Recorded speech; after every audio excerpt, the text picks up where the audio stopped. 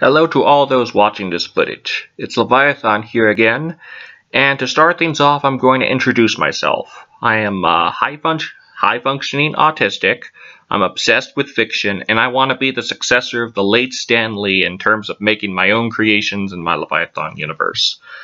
This storyline is about a character that I will introduce into this podcast known as Gymiskorikus.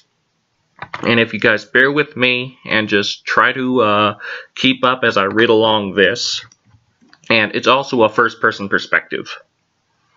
So here is Gymiskorikus, number 1, The Beginning, created and copyrighted by Levi Corsi Ames, July 17, 2015.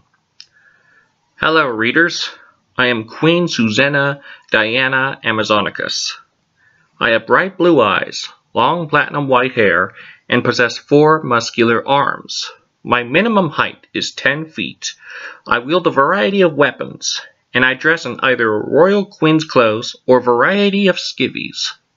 To begin this, I'll tell you the origin of my kind. A few thousand years before you humans have ever existed, Goddess had decided to create a special island within the center of the Pacific Ocean. On the island, she constructed an Amazonian race of 10 foot tall, four armed female warriors, which she since named the Gynarmicans. After creating them, Alexa taught them how to speak both English and their native tongue, known as the Gynarmican tongue.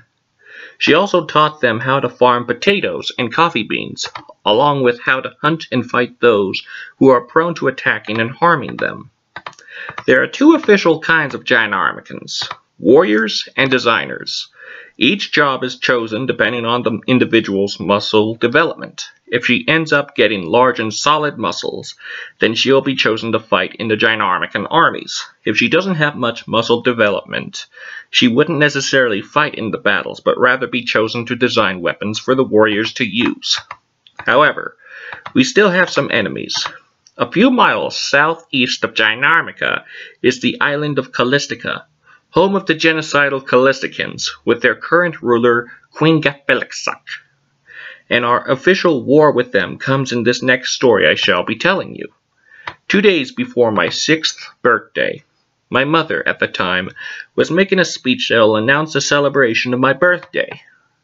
Unfortunately, Queen Gapelixac had used a plasma ray gun and assassinated my mother. For the final minutes of her life, she told her greatest friend, Commander at Tafora Kalthun, otherwise known as Hirikashix, meaning bloody warrior, that she must protect and honor me for as long as she lives.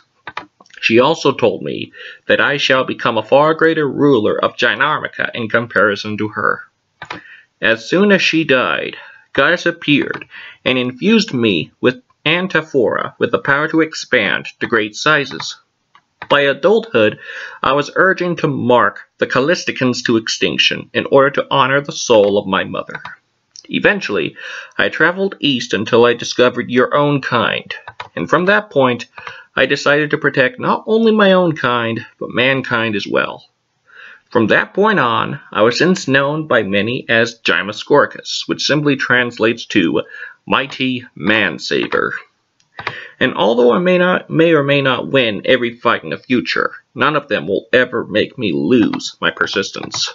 The end. I hope you guys enjoyed this introduction to this character, and hopefully you guys were able to catch up with me reading it and such.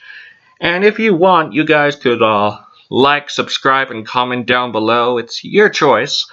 And uh, I'll be planning to make some more stuff in the long run. And uh, until next time, I'm Leviathan. Enjoy your time and such. and transmission.